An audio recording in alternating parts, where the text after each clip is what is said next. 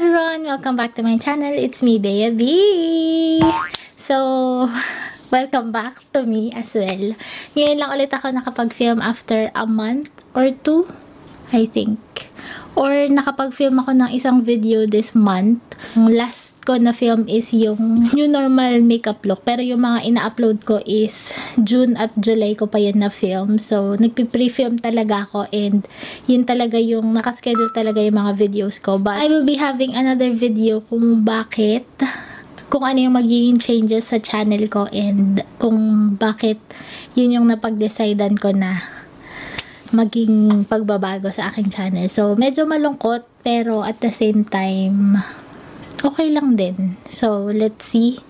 And I'd like to thank muna pala, sorry sa mahabang intro, pero gusto ko lang magpasalamat sa mga nandyan pa din at sumusuporta sa aking channel in spite of my absence. Hindi talaga ako nakakasagot agad sa mga comments nyo, pero maraming salamat kasi pinapanood nyo pa din yung mga susunod kong upload kahit hindi ko kayo nasagot dun sa mga previous videos. For today's video, mag-focus na lang muna tayo sa as you can see on the title naman, sa mga products na nakalimutan ko na na meron ako, but not totally nakalimutan ko. Uh, it's just that hindi ko sila masyadong nagagamit kasi masyado akong nag-enjoy dun sa mga newly discovered kong products na nagbo-work talaga sa akin. And magtatagalig na lang ako sa video na ito kasi most of these are Filipino brands and Filipino products. So if you want me to put an English subtitle, just comment it down below in a polite way, please.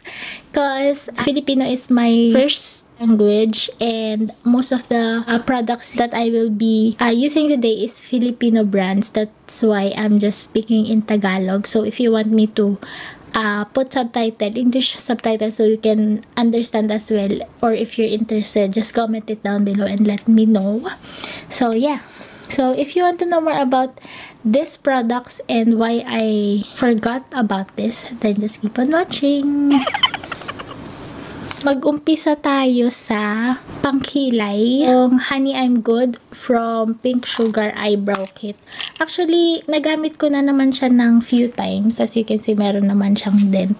Kaya lang, nakalimutan ko na siya kasi mas mahilig talaga ako sa eyebrow pencil and hindi talaga ako usually na nagkikilay. Pero, ayun. Hindi ko naman totally na nakalimutan siya. So, finifill ko lang yung aking kilay. And medyo tinataasan ko to ng konti kasi mas mababa to kaysa dun sa kabila kong kilay para kahit papano eh magpantay naman silang dalawa. Oo nga pala nagbe-breakout ako kaya wag nyo nang sabihin kasi alam ko na. Minsan kasi may magka-comment pa din, oo nagbe-breakout ka, oo alam ko.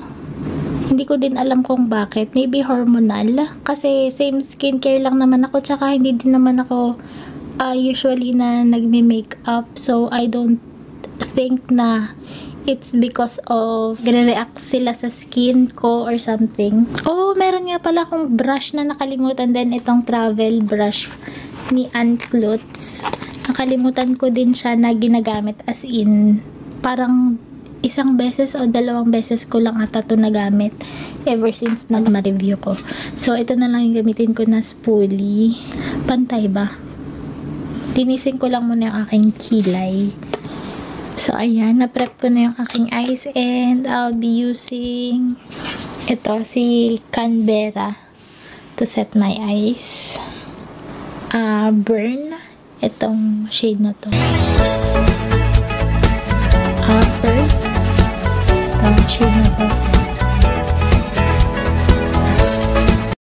Then, I'll be using Moscow. Itong light shimmery shade. So, for the eyeliner, eh, gagamitin ko itong si Squad Cosmetics Liquid Eyeliner.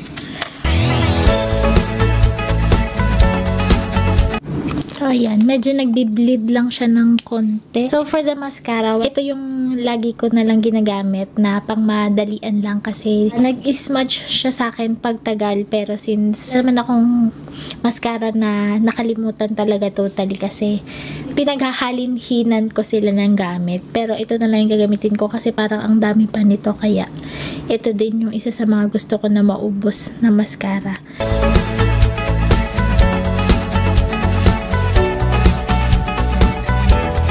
Ayan, literally after one hour.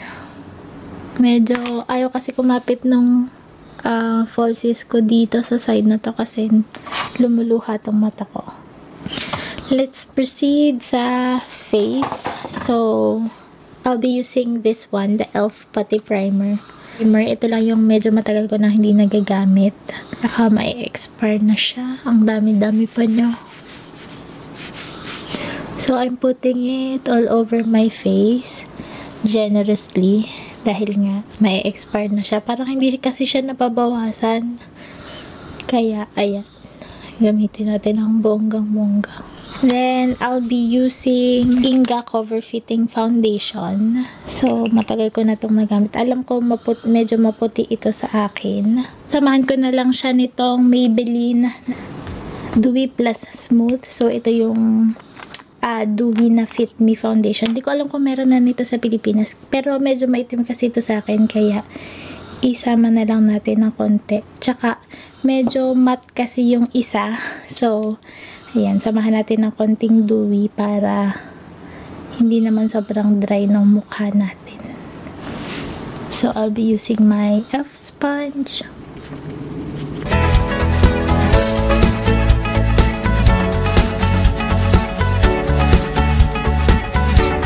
Then, for the concealer, I'll be using itong the same uh, Cover Perfection Tip Concealer. So, almost paubos na din to. Pero matagal ko na siyang hindi nagagamit. So, hindi ko na masyadong tinatakpan yung aking mga imperfections kasi, you know, love your skin. Tsaka, nagsisettle lang din siya kaya mas gusto ko na pang highlight na lang tsaka pang takip ng konting um, darkness sa aking under eye area. Yan. Sobrang bright. mga nilagay lang din ako ibang product sa mukha ko na hindi ko siya nakalimutan pero gusto ko lang siyang gamitin para magamit ko siya. Lahat ng ginamit ko is on the description down below. So, mag-set na tayo ng face. Ang gagamitin ko is, is Maybelline Superstay. So, medyo maitim to sa akin kaya hindi ko siya masyadong um, nagagamit. So, for my contour, I'll be using the BTLA Contour Kit magkaroon naman ng warmth ang ating face. Kasi medyo maputi yung ating foundation. Then, for my blush and highlight, I'll be using the Vice Cosmetics Aura Duo Superstar.